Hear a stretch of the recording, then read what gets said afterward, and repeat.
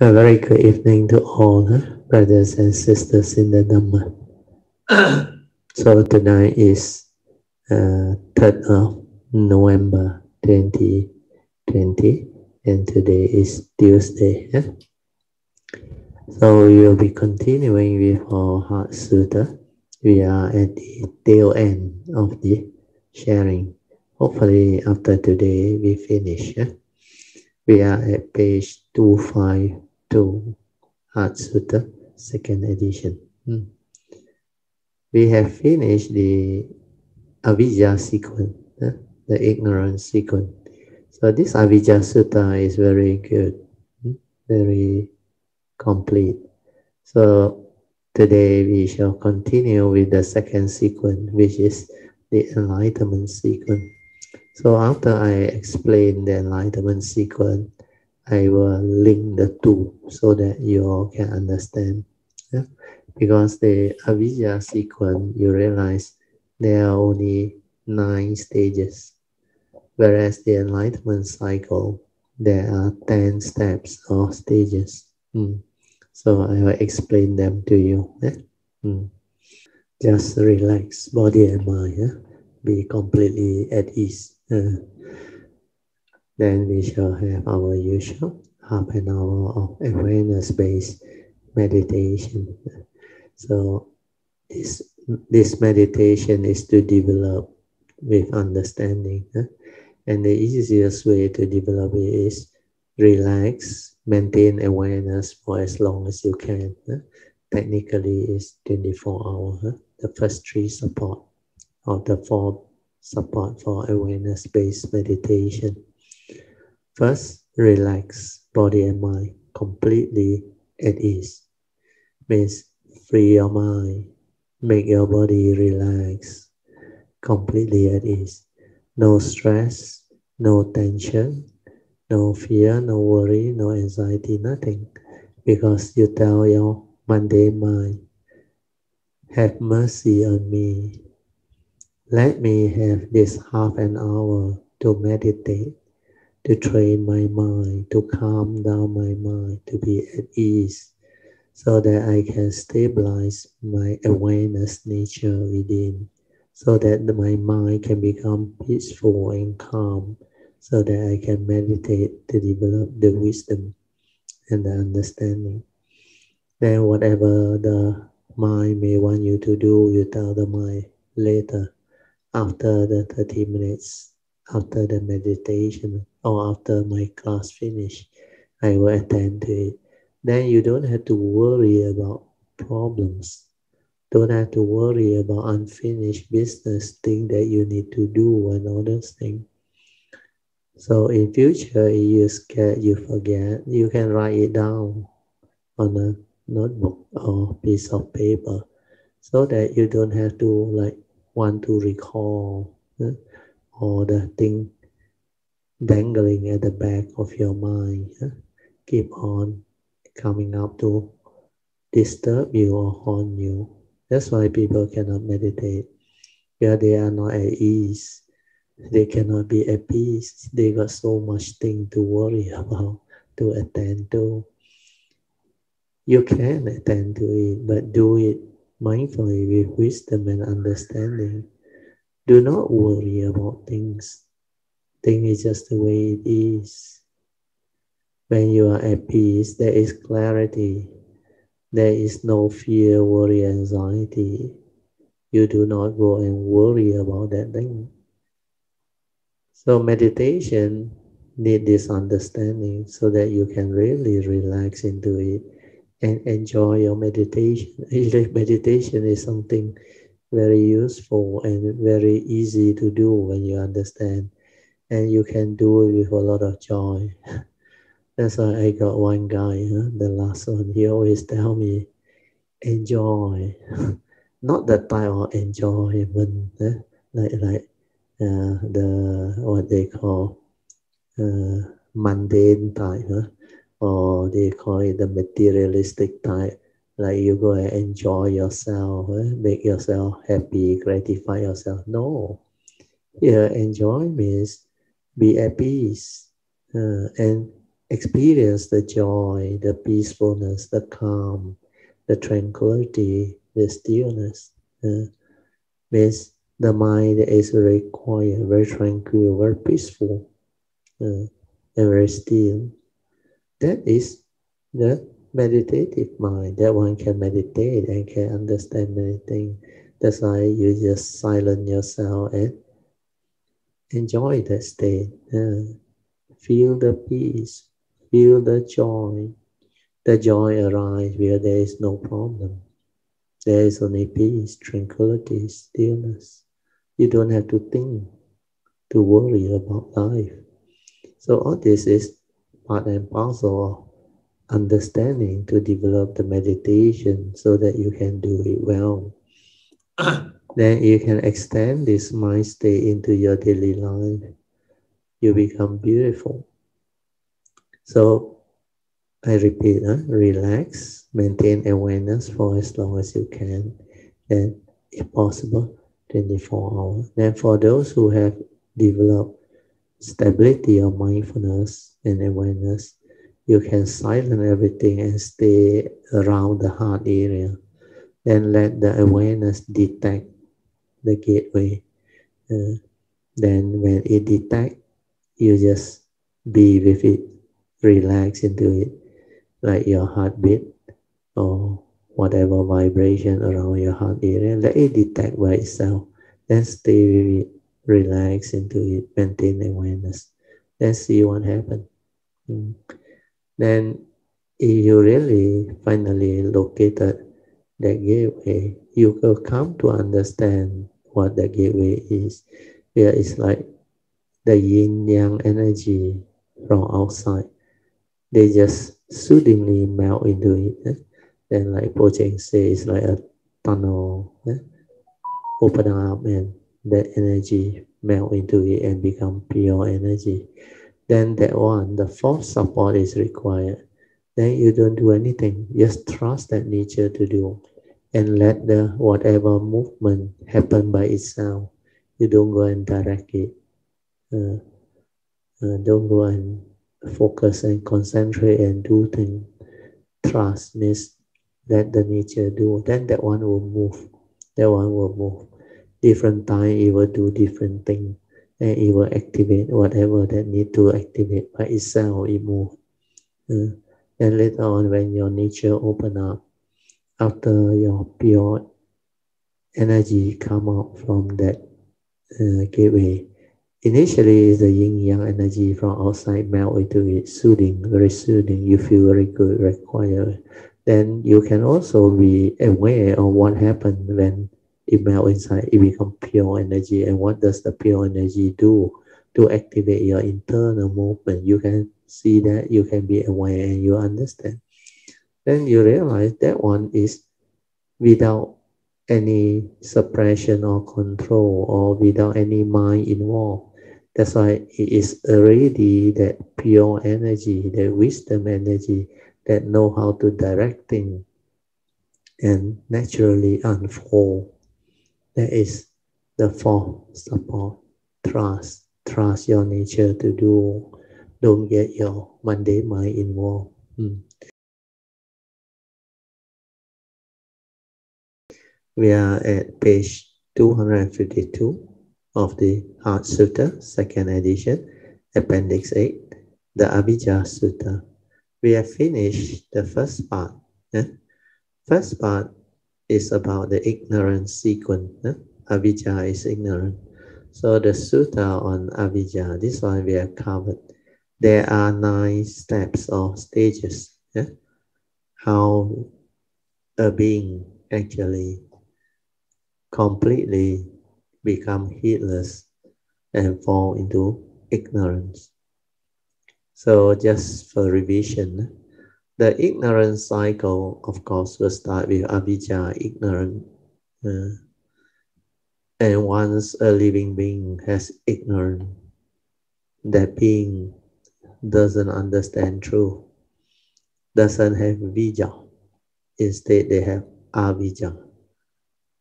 So avijja with the A in front is the opposite of vijja, means there is no understanding of truth, of the nature's law that governs life and existence.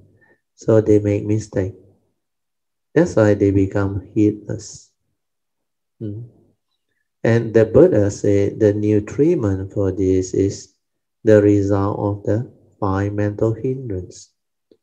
These five mental hindrances are mental states that hinders your mind from entering the meditative states of inner peace, inner calmness, and inner awareness.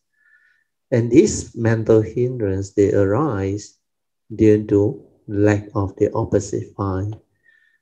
The Buddha called the spiritual faculties, which are mind state that can allow you to understand spiritual teaching. That's why they are called spiritual faculties. When you have them, it helps you overcome the five mental hindrance.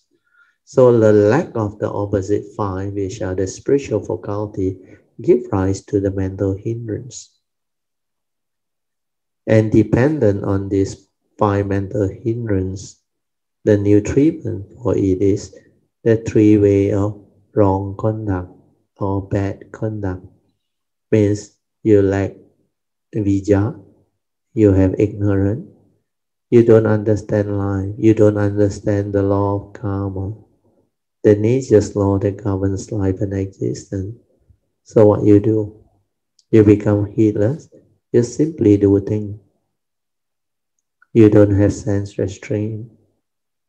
So upon sense experience, at the moment of sense experience, you simply act, speak, and think with a deluded mind, unwholesome mind. It has the evil roots of greed, hatred, and delusion. And when you do that, the evil root condition the five mental hindrance to hinders your mind from entering the meditative state. And the reason for this is the Buddha said, you lack sense restraint. The reason why you lack sense restraint is because you lack mindfulness. You lack the training of sati sampajanna.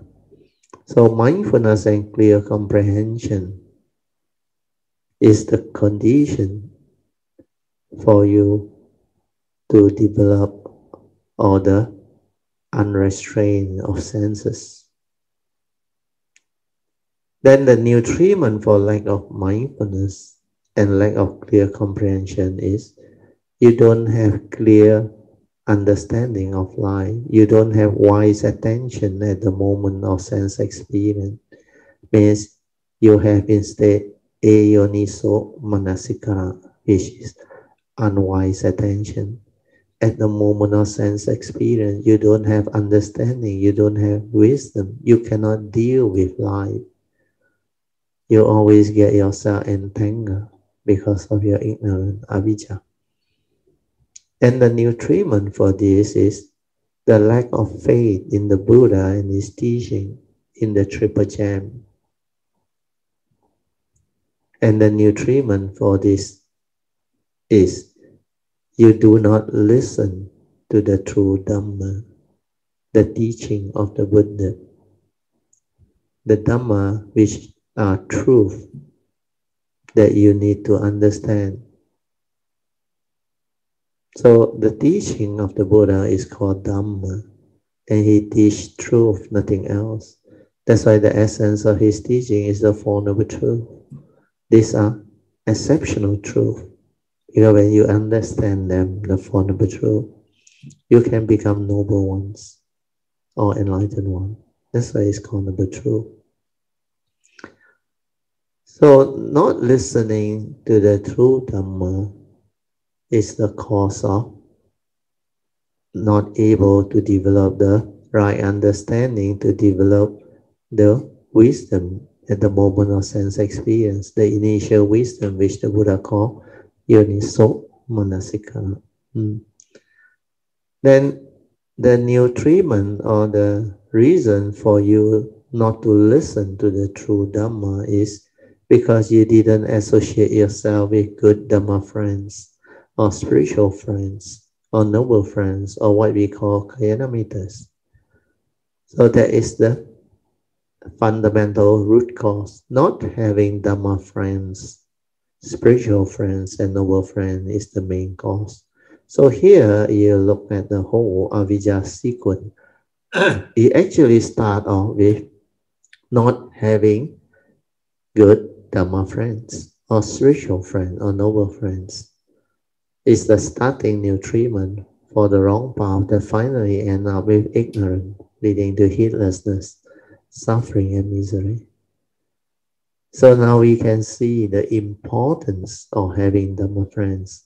That's the reason why when I started to teach, when I decide and make that decision to come out to share the Dhamma, the understanding that my nature has with the world, I decided to call this grouping my Kalyana grouping so that we can have the condition to actually start the cultivation leading to the enlightenment sequence. If we don't have Kalyana shape, we will not have the spiritual life.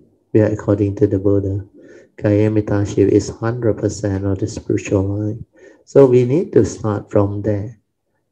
So shape is a very important factor in life. In fact, it is also one of the prerequisites for successful cultivation leading to enlightenment. Without Kalyana there can be no enlightenment. We are without true Kalyana spiritual friend, noble friends, Oh, or Dhamma friends. You will not have condition to listen to the true Dhamma. You cannot listen to the true Dhamma how can you develop the faith in the Buddha and his teaching? How can you develop understanding of his teaching? So all this will fall apart. That's the reason why Kalyana Mittanship is 100% of the spiritual life, the holy life. And this one you must bear in mind. Do not underestimate the value of Dhamma friends, Mittanship and the website and our sharing, they were planned and prepared based on this understanding. That's the reason why that day when I share through the Zoom video eh, for our gathering of Kayamita, the 16th anniversary, I read to you eh, the reason why we set up this grouping and the website, the purpose and intent leading to all the understanding. We also share about the Avijja Sutta. We also share about the attributes of true Kalyanamittas. Uh, Kalyanamittas are Dhamma friend that walk the path of Dhamma sincerely to develop the enlightenment, the awakening. Mm. And this grouping are just a group of sincere people who share the same intent eh, to actually cultivate the Dhamma, walk the path of Dhamma, to realize enlightenment so that we can be a blessing to all, so that we can understand life and live life and benefit living beings. So that is the main intent and purpose of life for there is no other more noble intent or ideal to live life. All of your materialistic ambition, your whatever goal or motive in life, if it's non-spiritual, is only temporary. You may realize it, you may achieve it, then to you, you think you can have the joy, the happiness, and all those things. And this is what you want. But ultimately, you fail to understand life because you didn't take care of karma. Then when you come again through rebirth, you will suffer, you will become miserable again, for you don't understand life. Then the other thing about materialistic goal is when you are able to be successful, you think you will be happy. You think it will give you status, financial freedom, great uh, honor and reputation. But if you were to do a reality check, you realize a lot of these people who are successful, they end up miserable. Even the actors, the actresses, they end up miserable. Then some Nobel Prize winner, their personal life are miserable. They are not really happy. Uh, then also we have successful uh, entrepreneur and all those things. Not everyone has good life and happy life, but they lack the spiritual understanding of life to complement their life. So we can see all this yeah, in nature, in life itself. So Dhamma has its beauty it not only let you understand life, it let you have the wisdom to live life so that you don't have to suffer anymore, so that you can develop the great enlightenment to be free from all suffering. Then this enlightenment can enable you to understand life and live the noble life of an enlightened being. Then you can do what you want. You can experience life to the fullest. Hmm. You can experience all the pristine beauty and wonders of life. Then you can travel. You can really, uh, maybe I use the word in a proper way, eh? enjoy life. Uh, enjoy life is not to be heedless, eh? uh, not to indulge. Enjoy life means to live, to truly understand and live uh, appreciate life, have contentment, have love, have compassion, have joy, have the heedfulness to be peaceful, to be at peace with all situations, to experience the tranquility, the stillness of mind state, to really have the ability to be at peace with all situations anywhere, anytime, any place. So this is the beauty. Now we move on to the last sequence, which is the enlightenment sequence. So enlightenment sequence is the second sequence of Avijja Sutta. So according to the Buddha, true knowledge and vision of the reality of Vijja means understanding the truth leading to enlightenment. The nutriment for this is you must have the seven factors of enlightenment, the Buddha said. Satta Bojjhanga. And these seven factors of enlightenment we have gone through. Eh? So I will just go through with you eh? in a very general manner. First enlightenment factor, the Buddha said, we must develop a stable sati, or mindfulness or awareness within.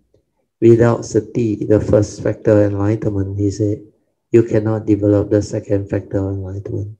But the second factor of enlightenment is Dhamma Vichaya, or investigation of Dhamma, the truth, the teaching that the Buddha has taught us.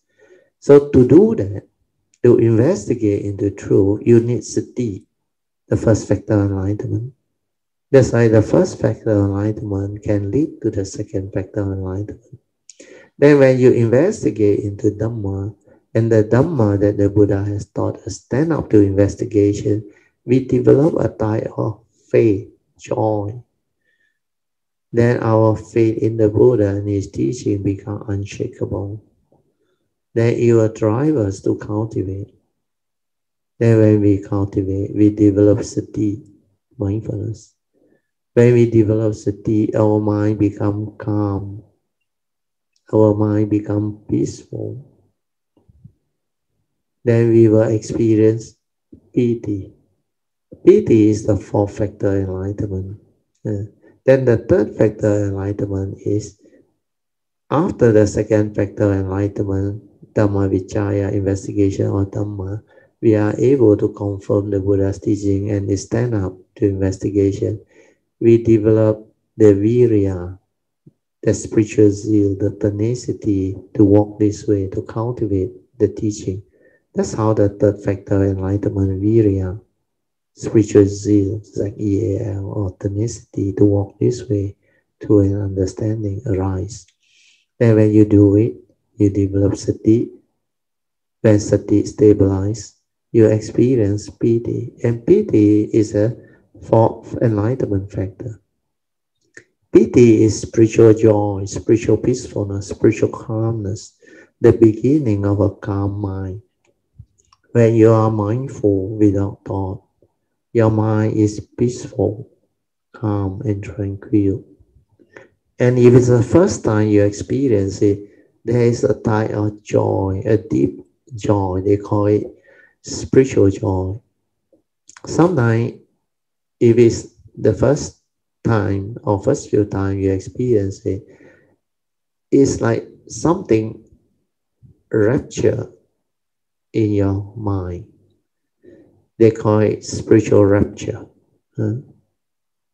And this is a very nice feeling because it's without thought, it's just aware and you feel very good.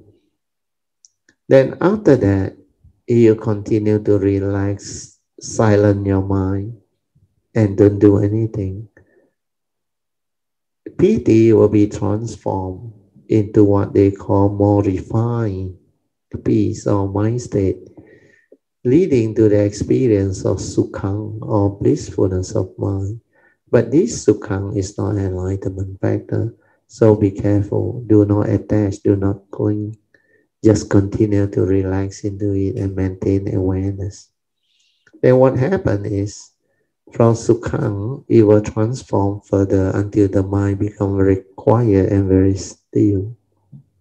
Until it is a free mind without movement, without thought, without activity.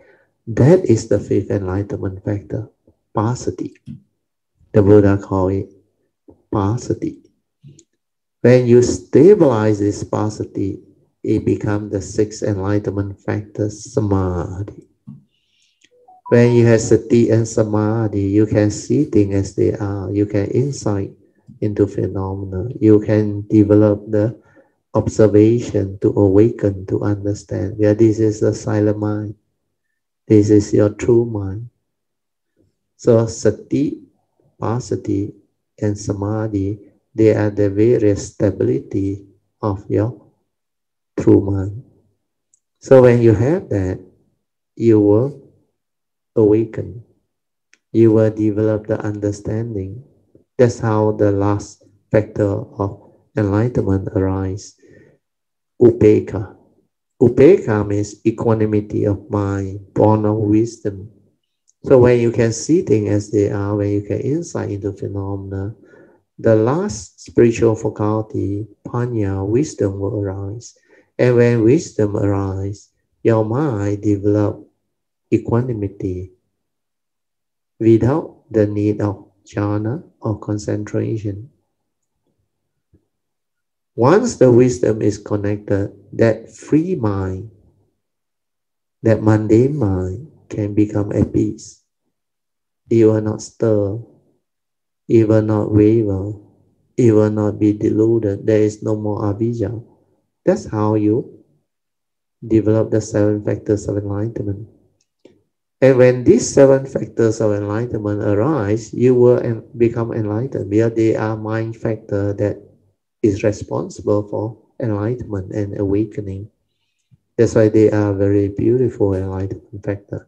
And according to the Buddha, the nutriment for these seven factors of enlightenment is the result of your cultivation of the four foundation of mindfulness, sati, patthana. So this four foundation of mindfulness, you develop the training of your mindfulness on this fourfold foundation. Uh, sometimes people call it the four bases uh, uh, of foundation. Hmm. So foundation can be used. Eh? because it is like the base for you to arise. Mm. The first foundation, the Buddha said, make use of our kaya to develop mindfulness of our bodily activity, movement, vibration. So he called it kaya nupassana. Then the second foundation is feeling, mindfulness of feeling. We call it Vedana Nupassana. We have gone through all this. The third foundation is Chitta Nupassana. Chitta is mind state, the thought, content of consciousness within the mundane mind state.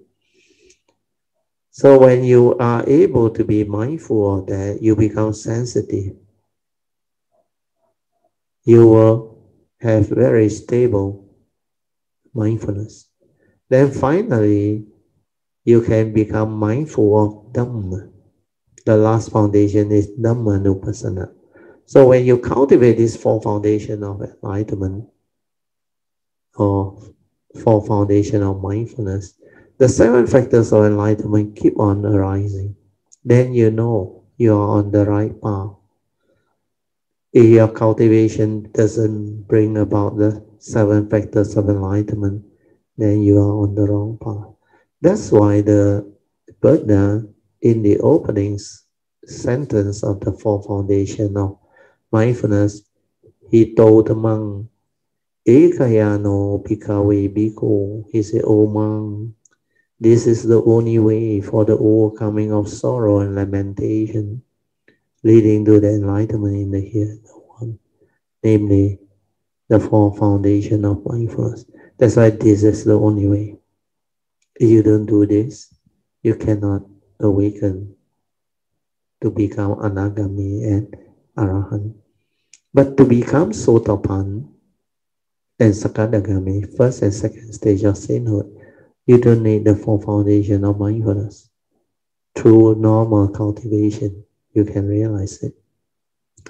That's the reason why the Buddha say the nutriment for the ability to develop this four foundation of mindfulness is you must have stabilized your practice, your cultivation, until you are capable of arising the three way of right conduct or good conduct. Mind, body, and speech means you are able to have right thought, right speech, right action. The three way of right conduct. And the nutriment for this is you must have restraint of the sense faculty. Because you don't have this ability, you can't. And the nutriment for the arising of sense restraint is mindfulness and clear comprehension if you don't have a very stable mindfulness and the foresight of clear comprehension, you cannot have sense restraint because you don't have sensitivity of mind. And the nutriment for arising mindfulness and clear comprehension is to have the initial wisdom, yoniso manasikara, or wise attention at the moment of sense experience. And this yoniso manasikara come from our three turning wisdom. First turning, listening to the Dhamma. Second turning, after you have listened, you must reflect, contemplate, and inquire into the Dhamma. And the third turning is meditative. So when this initial wisdom arises, wise attention at the moment of sense experience, it will prompt you every moment of sense experience because you have mindfulness and clear comprehension. That mindfulness can make you aware.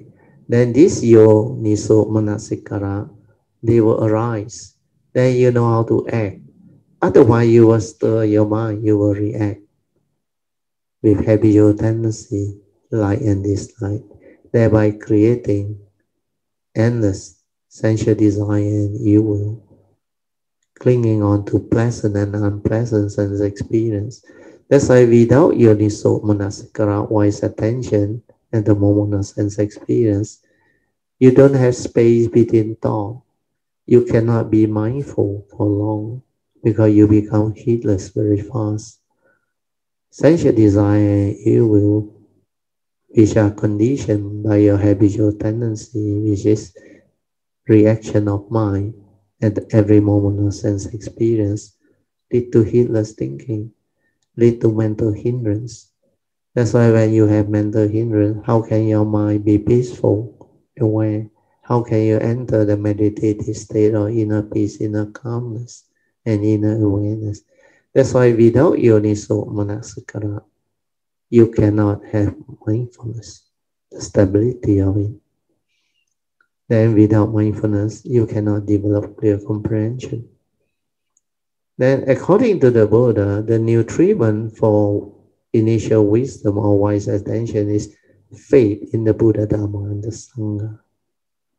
And the nutriment for faith in the Buddha, Dharma, and the Sangha is to have opportunity, time to listen to the true Dhamma, the teachings of the Buddha. Then the nutriment for this is you must have good Dhamma friends, association with good Dhamma friends, spiritual friends, and noble friends. So again, the last step is you must have Dhamma friends, or spiritual friends, or noble friends, or Kalyana so Kalyanamittaship is very important. Everything starts from there.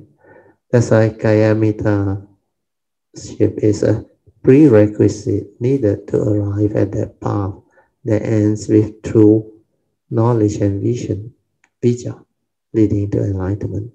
That is the reason why the, the Buddha clearly instructs us, we are saying to Ananda, Venerable Ananda, Having Dhamma or spiritual friend and noble friends of Kalyamita is 100% of the holy life. Hence, developing and promoting true Kalyanamittaship among all Buddhists within the Buddhist community is most important. Hmm. So now we complete the whole of Avijja Sutta. Then as I promised you, I highlighted to you before we start. Eh? There are nine steps in the Avijja sequence and 10 steps in the enlightenment sequence. So we will see where that missing link is. So we have summarized all the steps here huh, on this uh, chart, flow chart huh, for you to see. So this flow chart here is Avijja sequence. So this on your left hand side is Avijja sequence. So Avijja sequence, you realize there are nine. Yeah? Out of these nine, yeah, you compare. The only one missing is step nine, the seven factor, of enlightenment. Yeah? Where this one, under ignorance cycle, you don't have. If you have the seven factor enlightenment, it will be enlightenment cycle. That's where the missing link is. So the rest are opposite, opposite, eh? mainly opposite. So ignorant, the final uh, sequence or the from the avijja sequence when you come down from the top, avijja is ignorant. So the opposite of avijja is vijja. So on the enlightenment sequence, you saw the opposite vijja. Then enlightenment sequence needs seven factor enlightenment to awaken. But ignorant, you don't need. Ignorant, you only need the five mental hindrance. The three way of right conduct, uh, bad conduct. So you look at the opposite. Opposite of three way of bad conduct is the three way of right conduct or good conduct. Then the five mental hindrance, the opposite is the four foundation of mindfulness. Because if you don't have the mental hindrance, your mindfulness will be there and you can do the four foundation of mindfulness. But because of your mental hindrance, you cannot. Then the lack of sense restraint, the opposite is you have sense restraint. That is step six. Then the lack of mindfulness and clear comprehension is the opposite. You have mindfulness and clear comprehension. So they are the same. Then the lack of initial wisdom is yoniso manasikara. The opposite is you have the initial wisdom or yoniso manasikara. born of the first, second, and third turning, wisdom. Wise attention or consideration at the moment of sense experience. Then the lack of faith, the opposite is having faith. Then not listening to the true Dhamma, the opposite is listening, opportunity time to listen to the true Dhamma. Then not having Dhamma friend, the opposite is having true Kalyanamittas or Dhamma friends. So now the two sequence, enlightenment sequence and the ignorance sequence, they become very clear when you put them side by side. Uh, and this enlightenment sequence is the best. Huh? So you have to start with Dhamma friends. So the Avijja sequence, the ignorance sequence is you didn't have Dhamma friend, that's why you cannot start.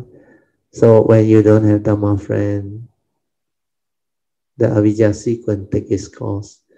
Not listening to the true Dhamma because you don't have Dhamma friends. You don't have spiritual friend. Whereas the actual enlightenment sequence has Dhamma friend. That's why they have opportunity time to listen to true Dhamma. So as Kalyanamittas, we already have the first four, especially the first three. You have Kalyanamittas friends, you have opportunity to listen to the true Dhamma. That's why we have our classes, our session, our website, our recording. That you develop the faith in the Buddha Dhamma and the Sangha. So this first step, three steps, you must have as Dhamma friend. Then most Dhamma friend already have four steps, uh, either developing or already have. Uh, so this is initial wisdom When you continuously listen to the Dhamma, reflect, contemplate, and inquire, you develop the initial wisdom. Then when the initial wisdom arises, your daily mindfulness and clear comprehension will surface. That's how you cultivate. And this step five is important. Once you finish step four and step five, the rest is relatively easy. So quite a number of Kalyanamittas have already had the ability to move on from step four to step five. But step five, to develop it, to stabilize it, is not easy. The daily mindfulness and the clear comprehension. At the moment, I think there is only a handful, uh, but still not bad, quite a number. Maybe less than 10 or about 10. Uh, and those who have they understand what sati sampajanna is, how they help them to actually understand things, see things clearly, deeply. And all the teaching that I teach you, you can only understand when you have a stable sati, when you have sati sampajanna. Otherwise, you can't understand. Uh, and without the initial wisdom, the sati sampajanna cannot come. So initial wisdom leading to sati sampajanna is the key steps to enlightenment. So you can do this too. Then step six and seven is automatic. It's a natural consequence. When sati sampajanna stabilize, when the initial wisdom also stabilize, you will be able to have sense restraint means at the moment of sense experience, like seeing, hearing, smell, taste, tactile, or thought process, your mind will not simply stir and react because you are no longer heedless. You are no longer deluded.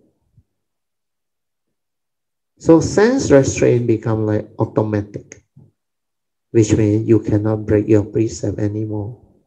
So if you can be at step six, sense restraint, when you cannot break your precept anymore, chances are you definitely become a first stage of sainthood, Sakadagami. Oh, sorry, Sotapanaship. That's why they say the Sotapan will keep the minimum five percent. They cannot break them. And because of that, they won't fall into the four woeful state they will be born every life, eh? human being and above. After you can have sense restraint, you can easily cultivate the three way of right conduct. When you have sense restraint means you cannot break precept already, then you can cultivate the right effort to cultivate the right thought, right speech, right action that are still not in you. Then the fourth, last right effort is to refine upon whatever right thought, right speech, right action that you have developed and perfect them until they become your virtue, uh, until they become very stable, mm, leading to the perfection of all the right thought, right speech, right action, and right way of living life. Uh, then, you can do that, you would have become an enlightened being, Sakadagami, second stage of sainthood. Because at the second stage of sainthood, you would have severe, oh sorry, not severe. The fourth and fifth factors, which is sensual desire and greed, you have attenuated it and reduced by a lot already. That's why you cannot simply get angry uh, and develop the desire, the sensual desire or lust and all those things. So sensual desire and ill will has been attenuated at this stage. And that's why the three way of right conduct, you can arise them. Uh, but when you move on to the four foundation of mindfulness, which is step eight, you would have developed the enlightenment factors of step nine, leading to awakening. That's why the last five factors, most of them you were clear until the last one, avijja. That's why when you do the four foundation of mindfulness, the minimum you can realize is anagami, the third stage of sainthood. Mm, it's stated in the four foundation of mindfulness. Mm. If there is still some factors remaining, like minor conceit and avijja, then you will become an anagami. Otherwise, you straight away awaken and become arahanta, arahant, mm, rooting out all the ten matters. First stage of sainthood is relatively easy. When you have the glimpse of nibbana, you understand that this form of mind is not you, dependent originating, not a permanent unchanging entity. Then you sever the first factor, which is sakkayaditthi, self-delusion. So when self-delusion is, is severe, the next two factors also will be severe. Faith in the Buddha, Dhamma, and the Sangha will be severe too. In fact, that one, in the early stage, step three, you already realize it. But that one has not stabilized. So it has not become power. So you need to realize the ballast stage powers for you to realize the first stage of sotapanaship. Yeah. So these are all connected to the Avijja Sutta and the Buddha's teaching. So faith, which is to be developed, must be stable. Mm.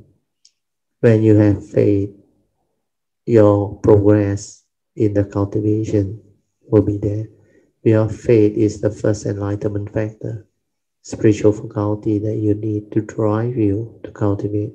That's why from Saddha it lead to Virya, Virya lead to Sati, Samadhi lead to Panya.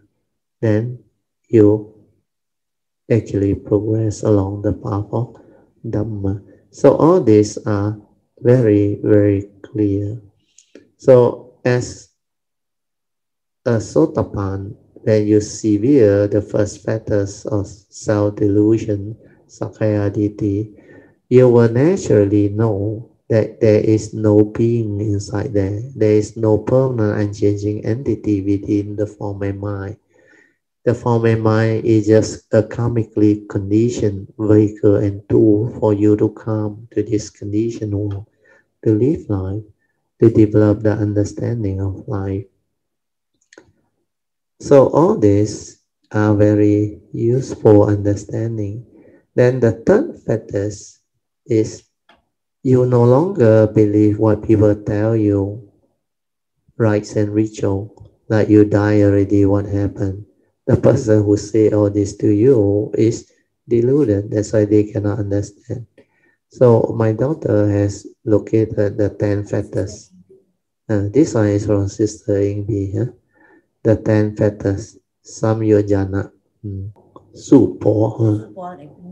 Factors that bind the mind in the cycle of rebirth. Huh? Uh, supo. Supo 思想导致重生的循环，嗯、十种障碍心结，嗯、将人束缚于轮回之中。嗯，Yes, the ten factors that bind you to samsara uh, existence. So the first one is sakkaya uh, self delusion. I have gone through.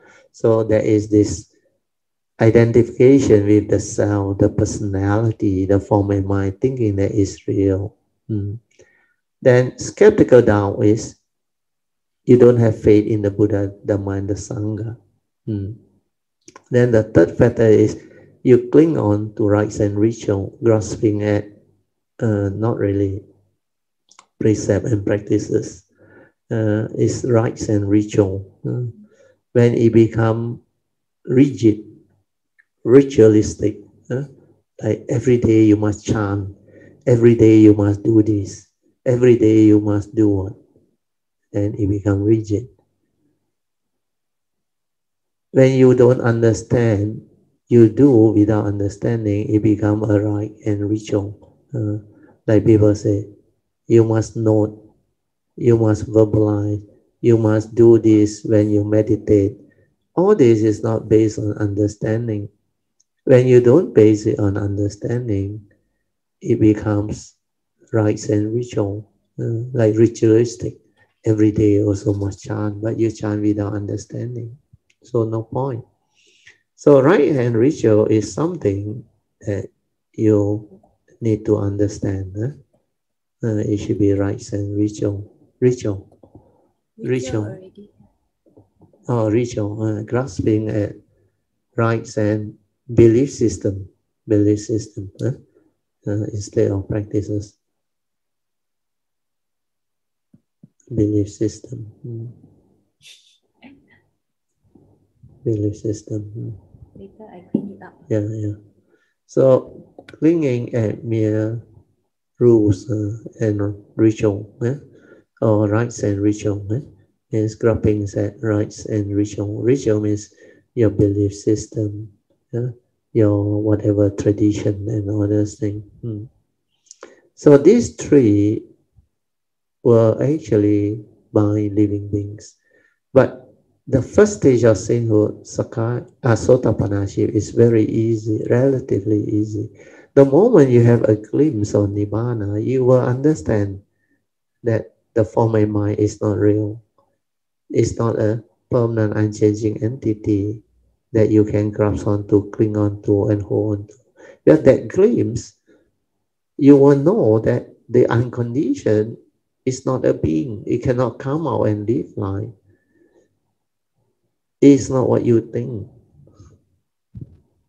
So the understanding is very profound, very, pro, very profound.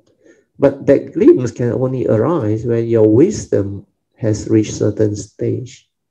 Uh, when your understanding of truth means especially the three universal characteristics of anicca, dukkha, anatta when you have insight into phenomena and awaken to the three universal characteristics, uh, then if you were to contemplate, reflect, and stabilize the understanding until you are very, very stable in the understanding, then everything can be understood like rupang anichang, rupang anatta, vedana anichang, vedana anatta, sanya anichang, sanya anatta, then sankhara anicang, sankhara anatta, vijnanang anicang, vijnanang anatta. So the five aggregate of form and mind is impermanent, leading to suffering and non-self or empty nature until this contemplation reflection become very, very stable. Uh, or sometimes you may have the stability or mindfulness to insight into phenomena, to awaken. And then all of a sudden you are ready. Then you will go through that glimpse of Nibbana, or moment of cessation. Sometimes they call it momentary cessation, the glimpse of Nibbana. But enough, well, that is the one that can trigger of enlightenment, lead to what they call change of lineage. Change of lineage uh, means from a Puthujjana into an Arya. You are no longer a normal Puthujjana. Mm. You have transformed and become an Arya. So that change of lineage is that single moment of cessation. Uh, of course, no sound when it happened. Uh, it happened. Uh, I remember 1989, uh, early part of 1989 when I was, I think, at the retreat uh, in Sampo Temple. It was a five-day retreat, and I went into that cessation. That was the first time. Then after that, I came out. I realized my mindfulness was very stable. Then throughout the day, I didn't talk. Almost the whole of the retreat, I hardly talked. Uh, and when I went through that cessation on the second day, I think later part of the second day, I start to understand many things. All the Dhamma, all the whatever teaching, like the understanding just arises by itself. Uh, like my nature connected and I start to understand many things. Uh, then later on, when my mundane mind collapsed, I inherited everything know, from my spiritual nature. That's how all these things become possible. Mm. So this glimpse, one moment, momentary glimpse of Nibbana is very powerful, very, very powerful. And this is reachable by most cultivators who are sincere, not difficult. But you must reach at least step 5 leading to step 6 of Avijja Sutta. Means you must finish step 4 and 5. Uh, yoniso manasikara, stabilize it. Then sati sampajanna, also stabilize it. Then sense restraint. You will know during that time, you cannot break precept one. No way. Like I used to explain to you all, to break one precept, like so difficult. I used to give you the example, remember, to kill a mosquito. First, what is the first thing that happened for you to kill a mosquito? Yeah? You must understand that you have a habitual tendency or view that you develop means the aversion towards the insect. True or not? And the first thing that actually trigger off your senses is in the early day, remember, when you hear that, that type of sound, or you see through your eye, or you gonna sting by the mosquito, then you spontaneously or habitually you just react. Oh, you you just use your hand to smack on it or clap and try to kill it or try to clear so this is when you don't have the number, when you don't have sense restraint. That's why you will do that. But when you have sense restraint, you can't. When you have a stable mindfulness, you can't. Well, the first thing is at the moment of sense experience, when you hear that zzz, or when you actually saw that mosquito coming or when tactily you feel they bite you, the initial wisdom will come out and you are sensitive, your mindfulness, you already know they are coming. Then at the moment of sense experience, you cannot react anymore. There you have the initial wisdom. They are just the way they are. They are also like you, looking for food. This their survival and you are in the environment where there is mosquito, especially dark places and in the forest or what, mosquito will be there. These are the conditions.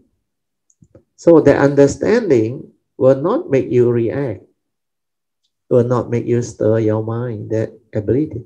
Then you will have love, compassion, and you can wish them well-being. Sometimes you donate dana, uh, then you wish them may you be well and happy. May the blessing of the triple gem be with you. Or at the most, you just shoo it off. Uh, you, you try to move it away from your body. Uh, then like the monks, I think they use this mosquito netting. They call it a cloth.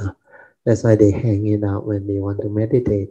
Uh, or mosquito netting to keep them away. That's why the Buddha said, the rope is to keep you warm, to keep your body away from the insects, the flies, and all these things. Then you can have the cloth, the mosquito netting. So all these are uh, in the teaching. So coming back to breaking precept, there is no way because you are mindful. Then the first thing that can happen is you see it, you hear it, or you sense tactile feel it, then the initial wisdom will come about. Then there is sense restraint, and you cannot kill anymore because you undertake the training rule not to kill or harm and you cannot do. Then let's say eh, your mindfulness is not so stable. You didn't have the ability to be sensitive, to see all this. Uh, so what happened? Let's say before you become enlightened, you have this intention to kill the mosquito, which to you is a nuisance. So what must you do? Yeah? The intention will arise. If you are really a sotapan, how can that type of intention arise? Impossible, isn't it? Uh, let's say before you become a sotapan, the intention arise. Then what is the next action? You have to move your hand, isn't it? To kill, isn't it? Or to strike that mosquito, isn't it? When your hand move, you have kaya anupasana, you will see, isn't it? You will be mindful of it, isn't it? Then before you hit, if throughout also you are not mindful, it means you are heedless. You are really, really heedless. You lack sensitivity, you lack mindfulness. Then at the moment when you hit, for you to harm or kill, you must be very accurate. Uh, so means the mosquito still there. Most of the time you miss it. So, so many stages, mental intention, so many happening, movement of hand, everything. If all this also you are not mindful and aware, no wonder you are heedless. That's why you don't have sense restraint. You don't have stability of mindfulness, sati sampajanna, and you don't have initial wisdom. That's why without step four, five, and six, you sure break your precept. That's why sotapan onward, you cannot break your precept really is impossible. So that time I remember I went through. You, you become a totally different person. You will do things that other people will not do, where you're incapable of negativity because of your sensitivity of mind, your initial wisdom, your mindfulness, then your sense restraint. Then you keep on cultivating Noble Eightfold Path, the three way of right conduct. Then after that, when you have all this understanding, the four foundation of mindfulness, I realize it become very easy. That's why when I read the sutta, I straight away understand what the sutta say and what they teach. And all this, most of them are not in the book. Huh? You can go through that uh, four foundation of mindfulness sharing and Wu Ping Jing It's all in the uh, website. It's recorded. Then at that time, I remember there were a few very uh, very good student and they are full of it and all those things. That time the condition was such, the sharing was so beautiful. The last chapter, the last day of the sharing, that talk came out in the form of a book, a yellow book, The Four Foundation of Mindfulness, a final summary. I read that book. That book summarizes all the cultivation and the practice. Uh, and that time, especially in BCC, you know, uh, that, that teaching, the book cannot explain one. That's why we went through all those things. So all this teaching, if you really develop the cultivation correctly, it will fall into place. You will understand. That's why the Avijja Sutta is the best check, the 10 step. Even the ignorance sequence, the nine steps or stages. You will know, you will understand it very clearly. Then why, at what stage, you develop what type of enlightenment? Uh, uh, yeah, yeah. My daughter want to share something. With.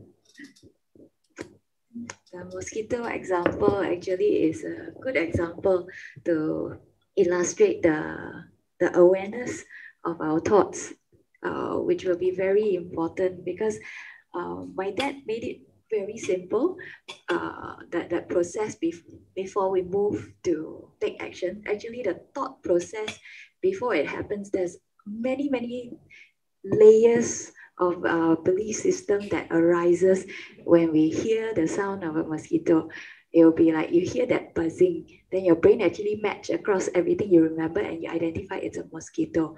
Mosquito, then you relate it to danger. Danger, you relate it hmm. to dengue. Malaria. dengue. Yeah, malaria. This all happened in a split second.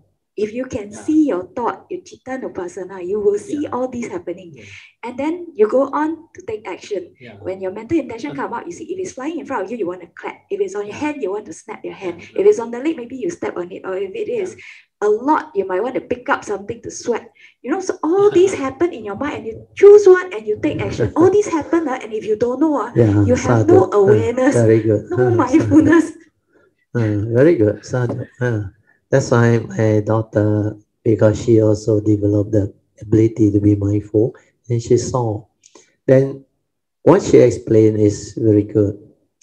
I will add in a little bit more. When you take action, you check what is your action based on? Will that thought tell you, A, can get malaria or no, can get dengue or no, especially nowadays dengue so common in some Subang area, especially a lot of hotspot, PJ.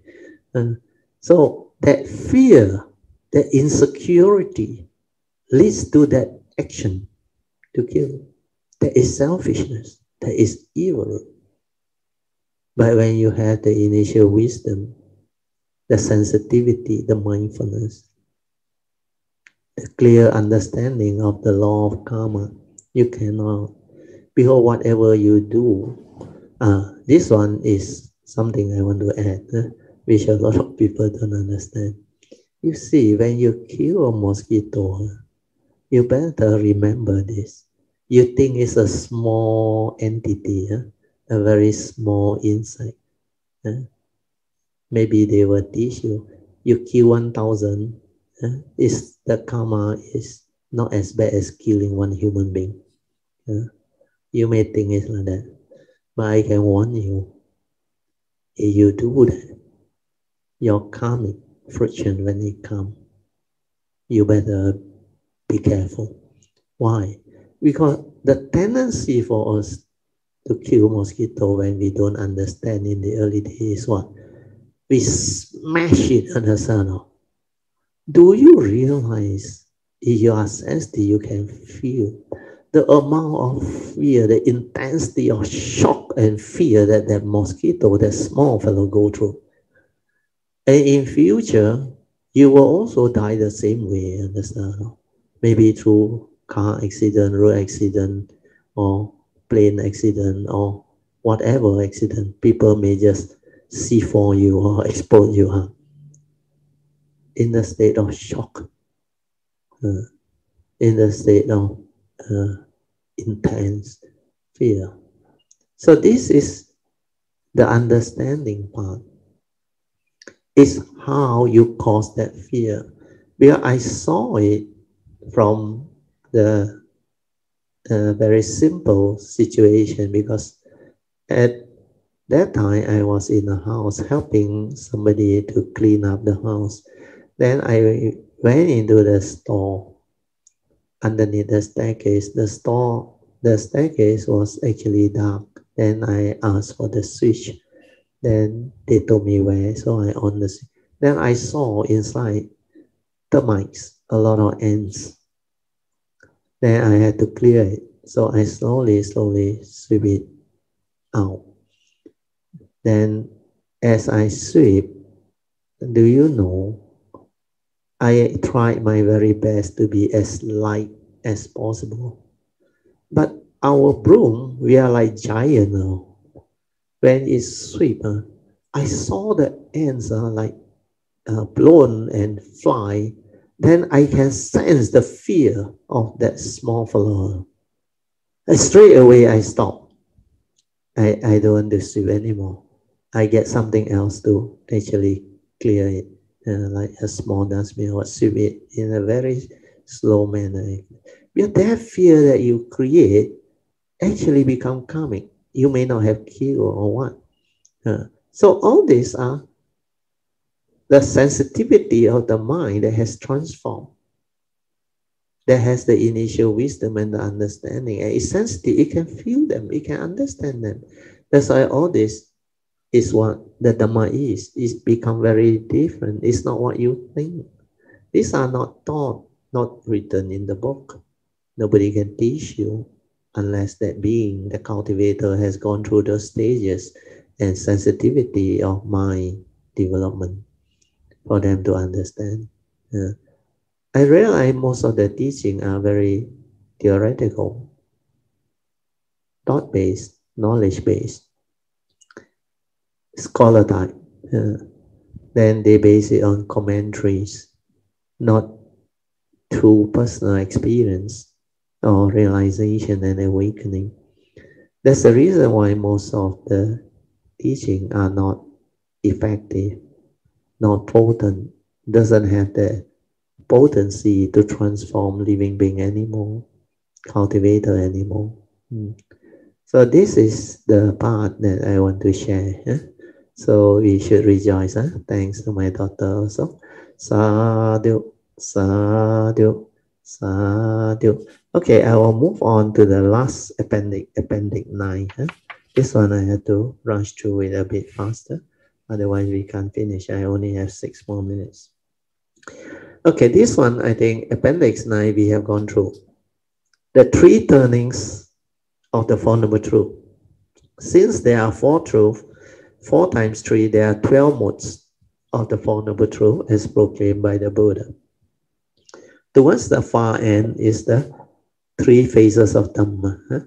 Then you have the first noble truth, second noble truth, third noble truth, fourth noble truth.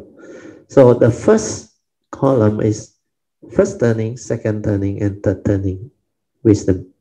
So first turning wisdom is the Suttamaya Panya, wisdom born of hearing the Sutta or Dhamma as taught by the Buddha or as proclaimed by the Buddha. So first noble truth Hearing or listening or reading of the first noble truth as proclaimed by the Buddha, the Buddha proclaimed this bhikkhu is the first noble truth of dukkha. Birth is dukkha, aging is dukkha, sickness and disease is dukkha, death or separation is dukkha.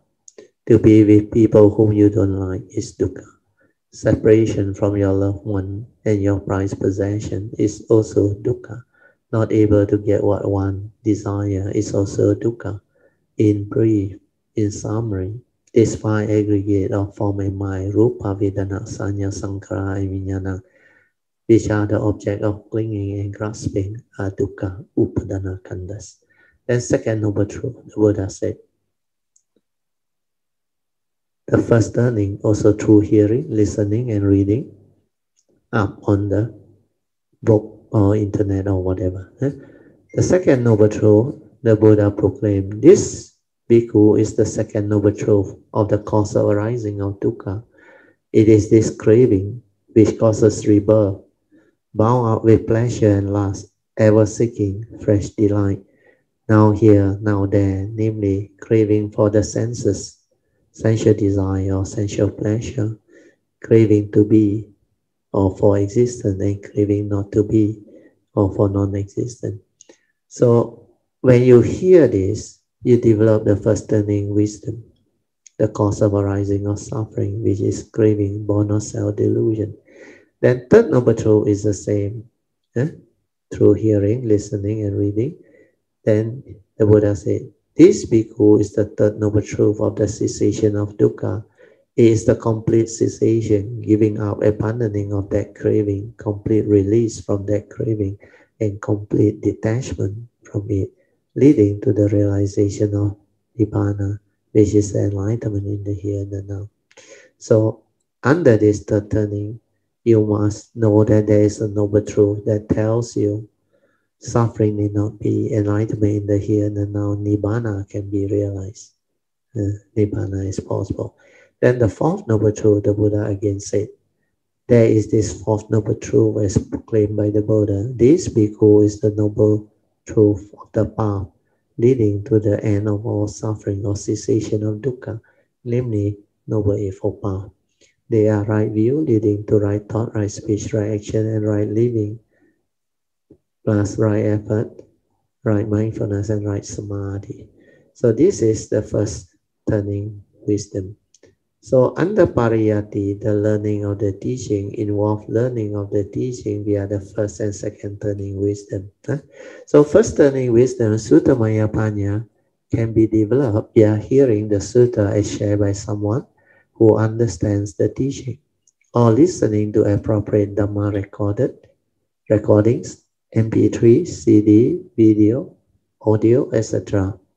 Then reading of Dhamma books or notes or online material shared by someone who has the understanding of the teaching. Hmm. The second turning is Chintamaya Panya, can be developed via contemplation, reflection, and inquiry into the Dhamma as taught by the Buddha to develop the further understanding via stabilizing what one has heard or read about, uh, then assimilating them into one's mind to set the base for developing further understanding later on via either first, second, or third turning wisdom. Then I will go to the second turning. Second turning is Cinta Maya Panya, wisdom born of reflection, inquiry, and contemplation into the Dhamma as proclaimed by the Buddha. First Noble Truth, you must contemplate, reflect, and inquire into the First Noble Truth. Why did the Buddha say this noble truth or dukkha is to be understood? The key word is understood. So from this inquiry, you will get an answer. If you don't understand this noble truth of dukkha, the first noble truth is eight condition. The eight reality of life is uh, what will happen to you. You will suffer without knowing that you suffer, and those are suffering. Without wisdom, when you confront them, you suffer. Then, second number two, you must inquire why did the Buddha say the cause of arising of suffering is craving? And this craving is to be abandoned. If I don't abandon, why? How? What will happen to me? If you don't abandon, you will have suffering, where this is the cause of arising of suffering. Then the next question is, how do I abandon it? So all this continue. Huh? And third number two, this cessation of dukkha is to be realized. Uh, the question is, why must I realize it? Otherwise, I cannot become enlightened. Uh, so this is very beautiful. Then how can I develop the ability to realize, uh, cultivate number eightfold path, follow the training as taught by the Buddha, develop heedfulness, then cultivate noble eightfold path. Mm. Then fourth noble truth, contemplate, relax, reflect, and inquire into the Fourth Noble Truth, the Buddha proclaimed, the Noble Eightfold Path that leads to the end of suffering is to be cultivated. So all the Four Truths, the emphasis is different. Why did the Buddha say this Noble Eightfold Path is to be cultivated? If you don't cultivate, what happens? It remains not as knowledge, understand or not? It cannot help you. Knowledge cannot free you you must cultivate until it becomes a part of you. It becomes wisdom, understanding that is connected to your nature. That's why the second turning is when you reflect, contemplate, and inquire, it will lead to the stability or understanding, the second turning wisdom. Then the next page is the third turning. The third turning, the Buddha say is Buddha uh, Bhavana Maya Panya, wisdom born of meditative training. Are the direct seeing or awakening. Bhavana is meditative training. So the direct seeing leading to realization, the Buddha said, this noble truth of dukkha has already been understood. Means what? The turning is all about enlightenment. Means you understand the first noble truth, the eight reality. Then you understand the cause of arising of suffering, the second noble truth. Then you understand the cessation of suffering, the third noble truth. Then you understand, eh? you have cultivated, sorry. Uh, all these are, wait, now I use my hand easier.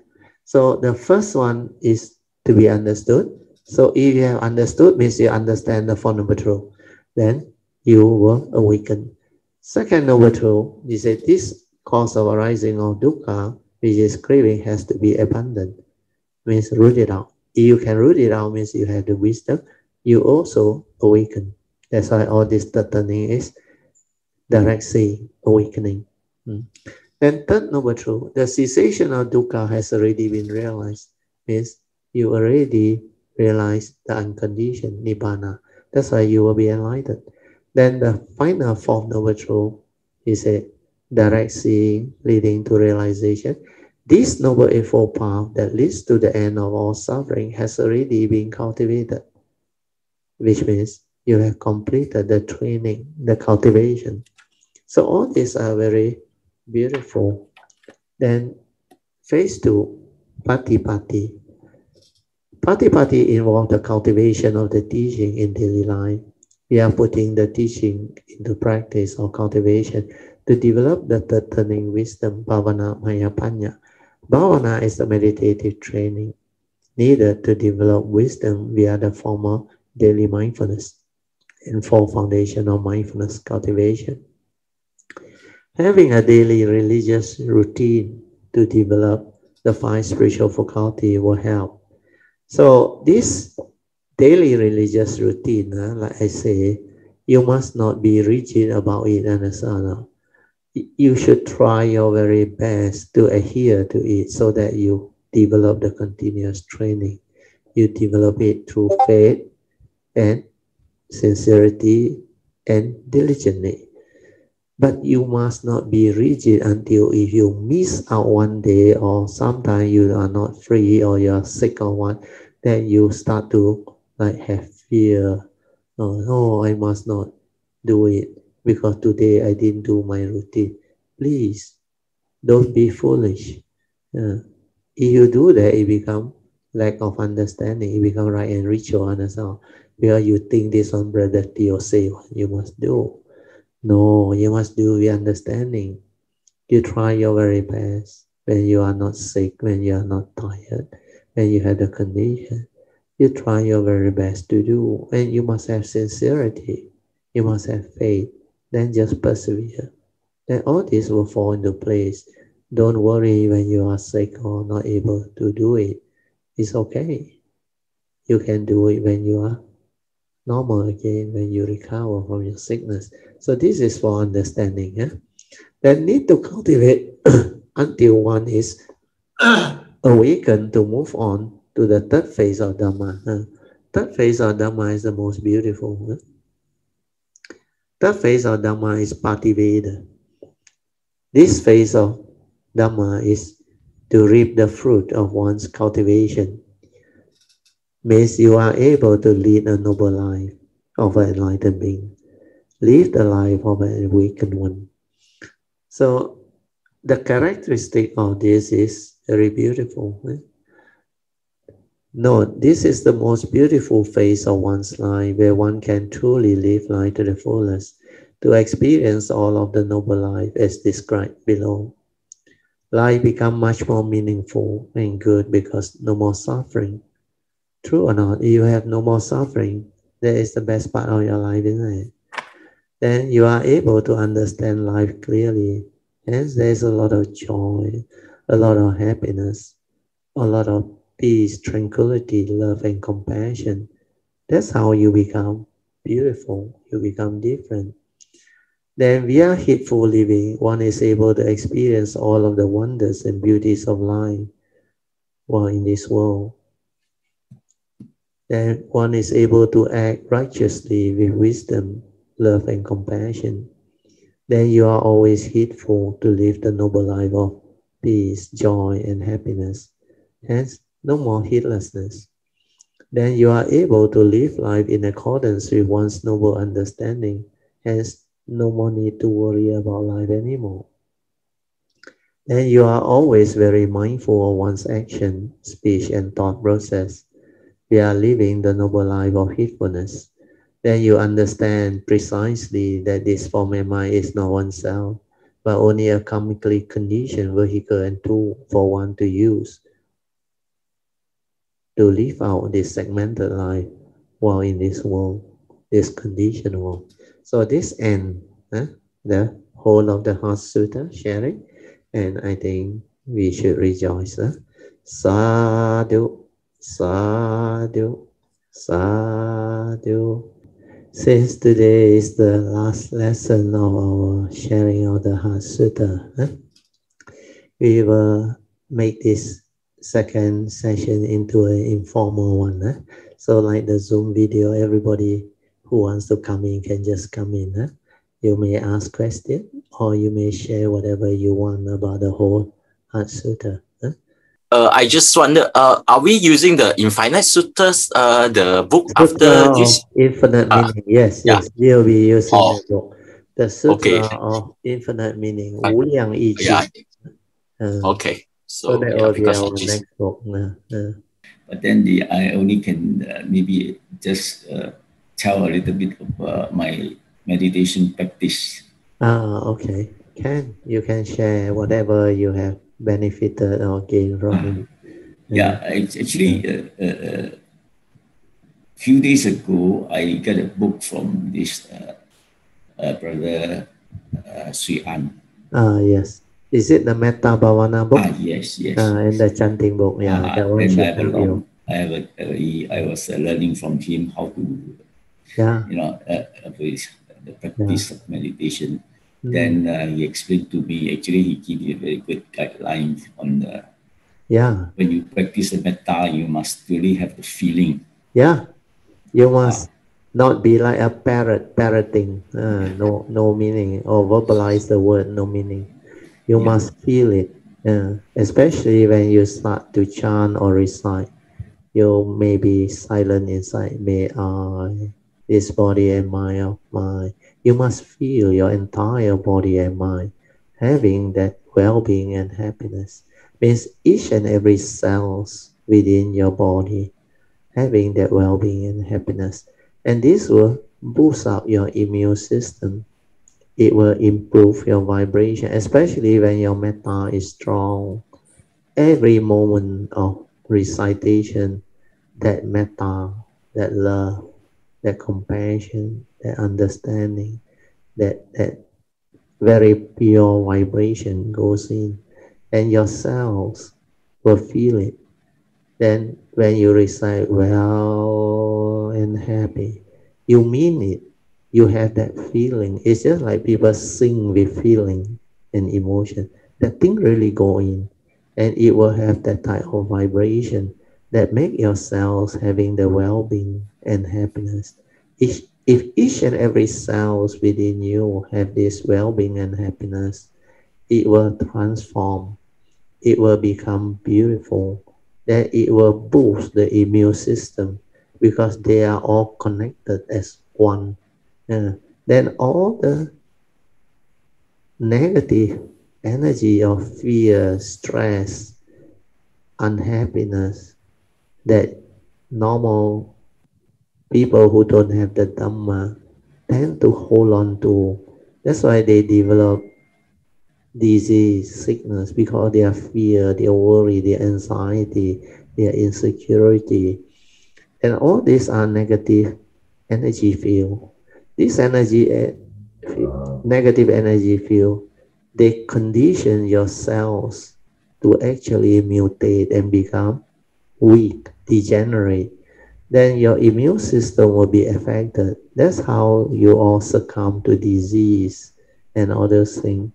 So for you to overcome it, you must reverse all this negative mind state tendency. I already explained to you, no amount of fear, worry, and anxiety can help you solve your problem or recover to good mind state or to heal yourself.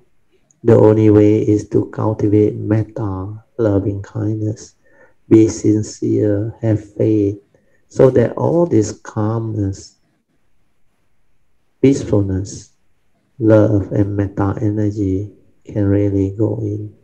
That way you can open up your heart and radiate this love to other beings.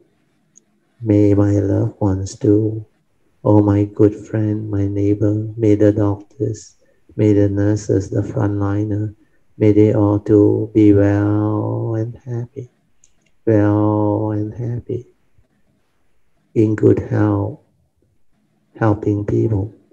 And may the blessing of the triple gem do be with all beings. Uh, and may all beings be well and happy. Feel it.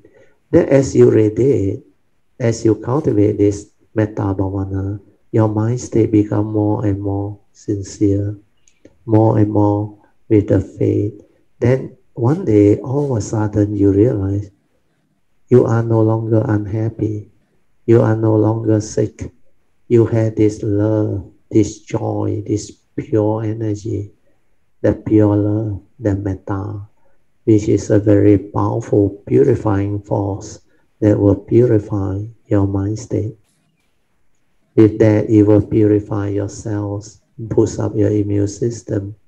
Then later on, if you cultivate, avoid all evil, keep precept, develop all the wholesomeness of cultivation, means you attend the class, share merit, transfer merit, pre-puja, post-puja. You develop all the 10 meritorious action.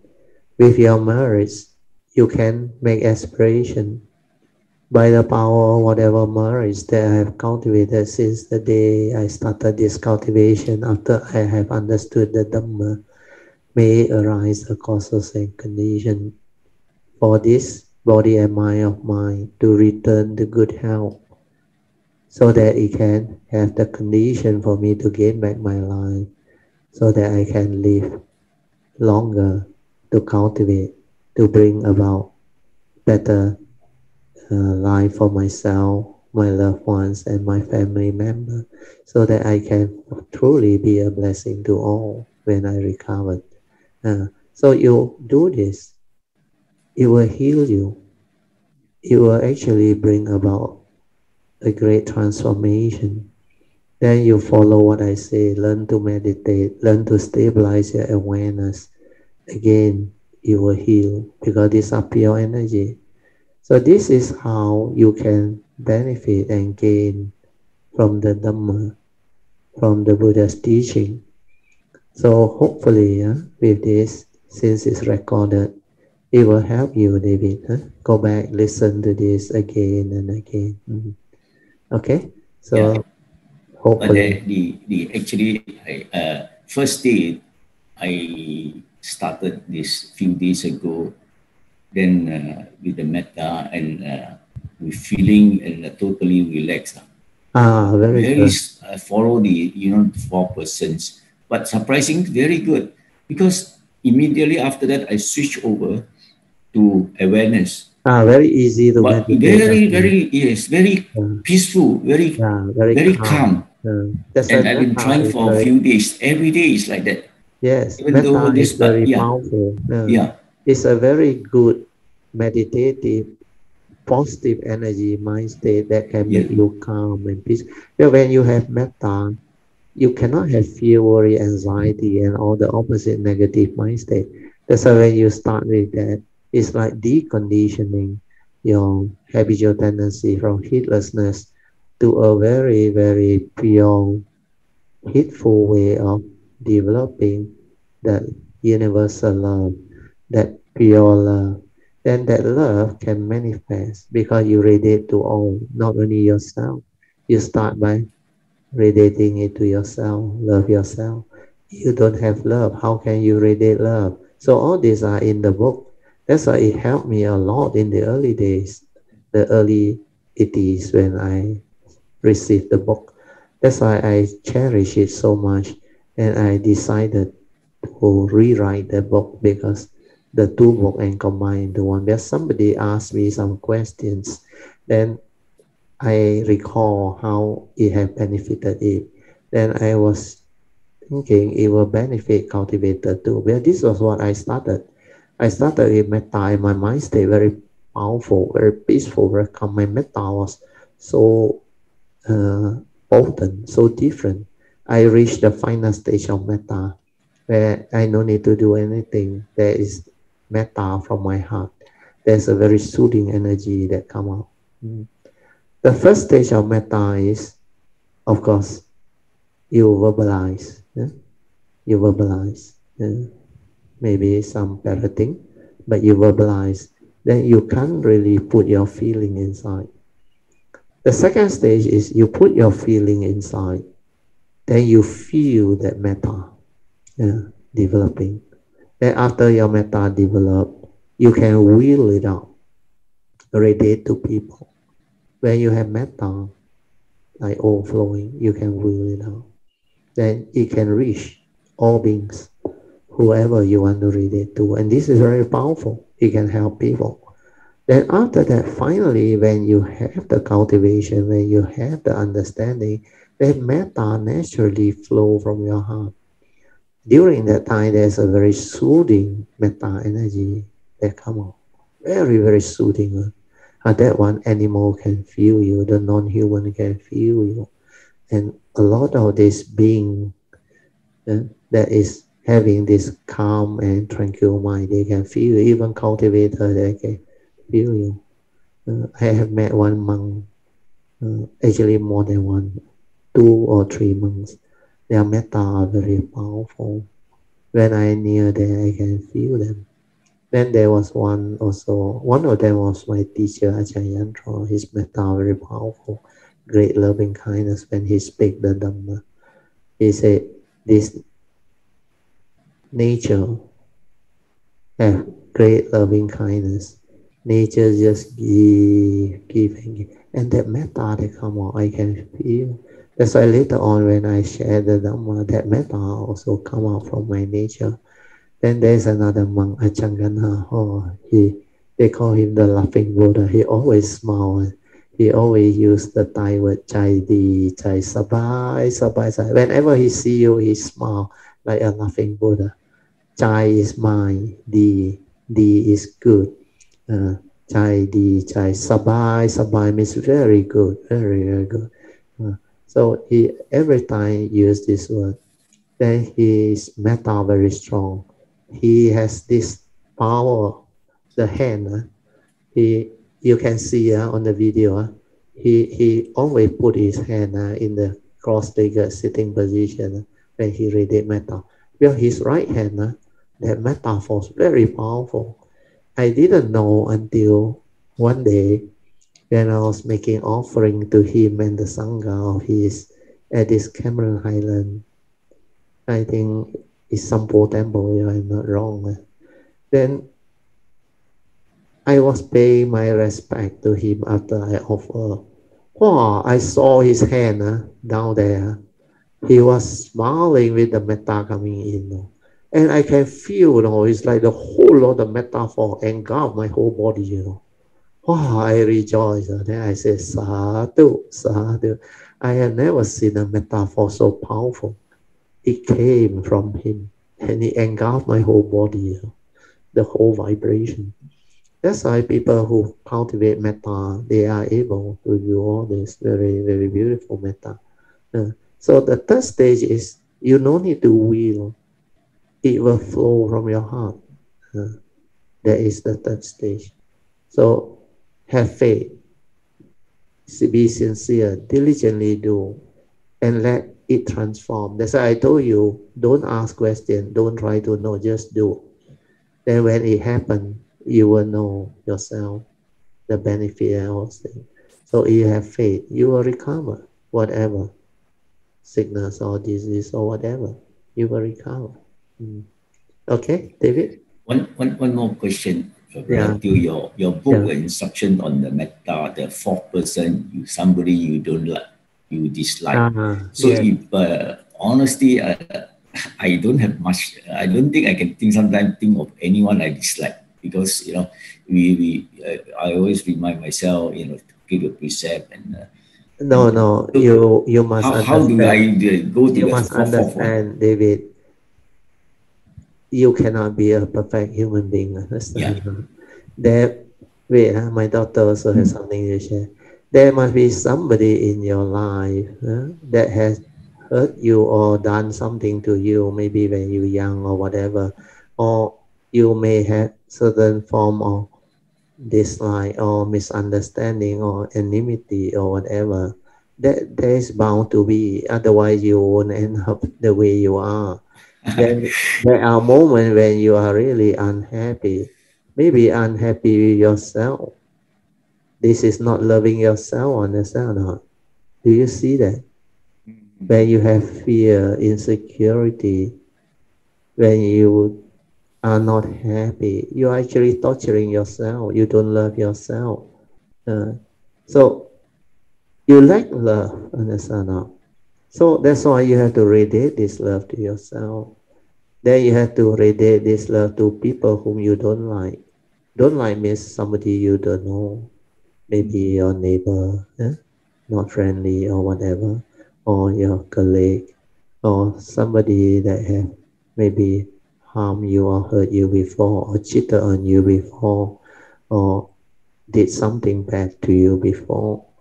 So there are occasions where you have this dislike for him or you, you don't like to be near him. But because you are not mindful, mm. you are not sensitive, that's why you think, I don't have anybody whom I don't like. You go and check. If you really don't have anybody whom you don't like, then you must be a saint. it's not easy, uh, truly. You wait, uh, my daughter has something to share. Uh. Hey, uh, hi David. Maybe this will help. Uh, because for me, first thing I thought about was when I read the news a lot.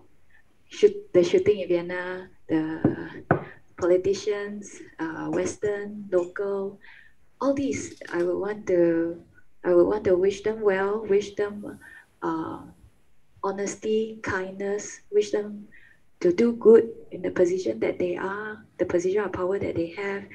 They can actually make a big difference if they feel for the people. So that that for me that is uh, how I would go about that fourth person. See if this helps you, uh, brings a new perspective into things that we disagree, not necessarily don't don't like in life. Make peace with things that we disagree in the world we are a part of. Yeah. Okay, David. Ah, yeah. Okay. Uh, yeah. Anyway, I want to say you know, thank you, Brother Teoh. You asked me to go and see uh, Brother Sri An.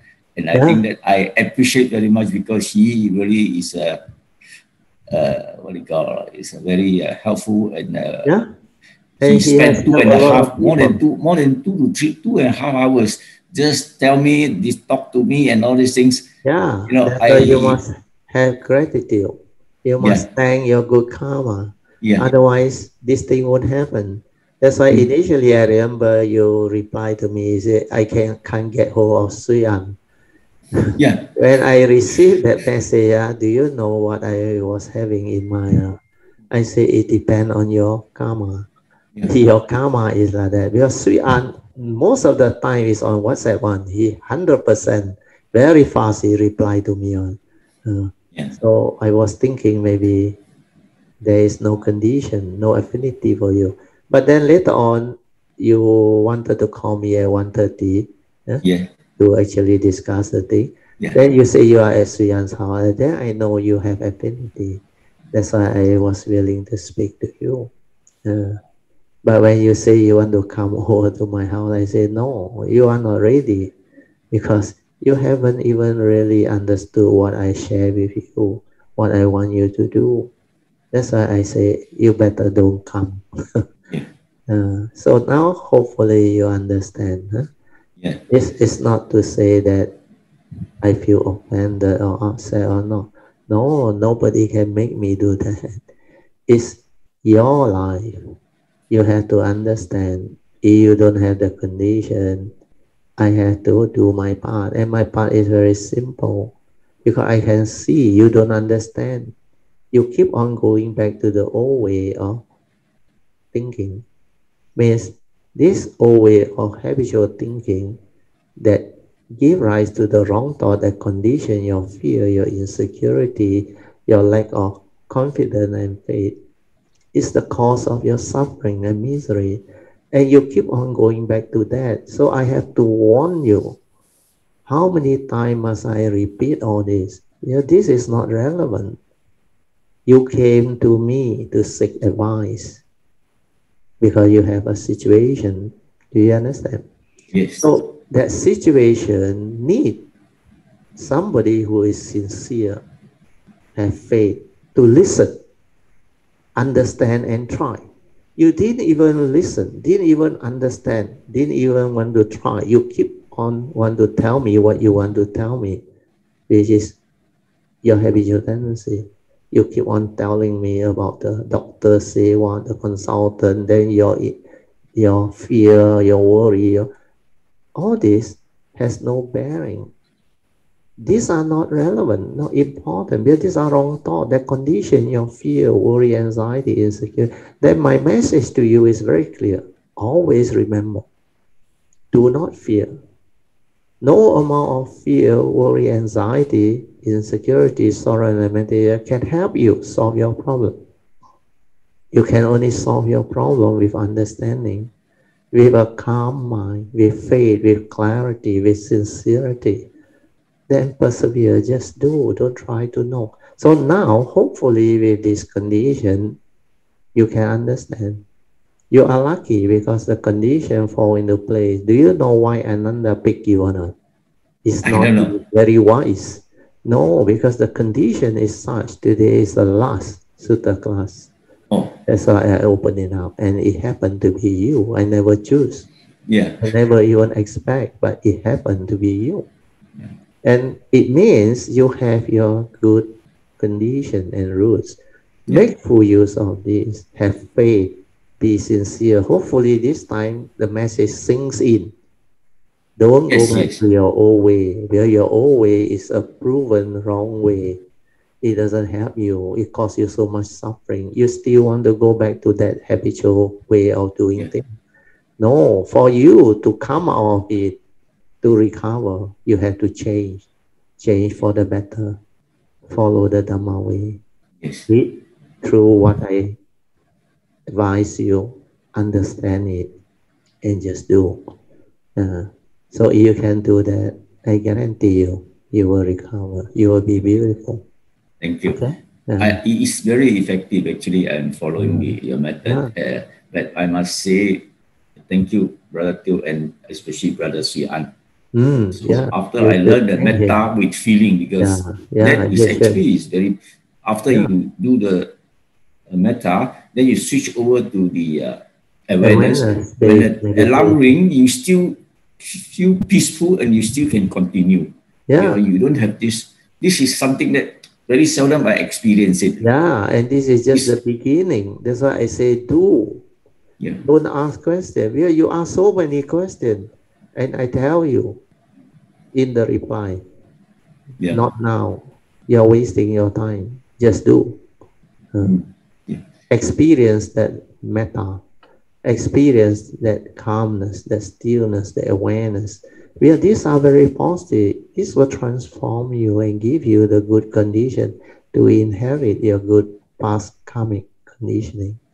That's why you can be what you are now. But this is just the beginning. Do not be complacent. Uh, do yes, not yes. like after that or neglect and go back to your old way. The danger of complacency is when you think you recover already, you go back to your old way then you know what happened? The relapse when it comes, nobody can help you. Not even the Dhamma can tell you. When it relapses, very difficult because you have been given the chance. And if that chance you miss it, that's it. So So nature is just the way it is. Hopefully you understand. Huh? Yes, so yes. count your good blessing, have gratitude, and do. Be sincere, have faith. Okay? Thank you. Thank you. Uh, sadhu, huh? let us rejoice. Huh? Sadhu. Sadhu, sadhu, sadhu. So today I think is good sharing. Huh? Later it is 10.37. I think we should end. Huh? So we should thank everybody who share, huh? especially Ananda for picking uh, uh, David, then asking which book is next. Huh? The book, the uh, sutra innumerous meaning, Wu Liang Yi Jing. You can get it from Ji, the bookshop, I think. Uh, uh, okay, so you don't have the book also, don't worry. Huh? My daughter will use this to share. This is the book. Huh? Uh, but if you want to have a copy, maybe you go and buy. Huh? Uh, I think it's not that expensive. Huh? Uh, I forgot the price already. You have to ask. If you want people to help you order, you can ask for Christina. Christina can get you the book, or Yun Chan also should be able to get you the book. Eh? Those who work for Tzu or help out at Tzu can get it for you. Eh? Okay.